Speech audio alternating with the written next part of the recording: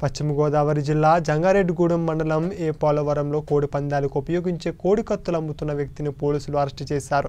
నిందితుడు ఎడ్లపల్లి బ్రహ్మ అనే వ్యక్తి వద్ద నుండి ఐదు వందల నలభై ఐదు కోడి కత్తులు స్వాధీనం చేసుకుని కేసు నమోదు చేశారు.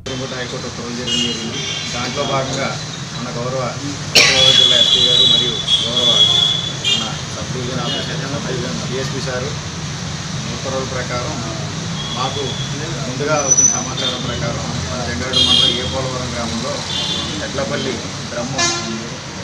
సన్నాపు భద్రం అనే వ్యక్తి ఈ యొక్క కోడి టూరిజం పందెలకు సంబంధించిన కత్తులు ఉన్నాయని ఇన్ఫర్మేషన్ వచ్చింది.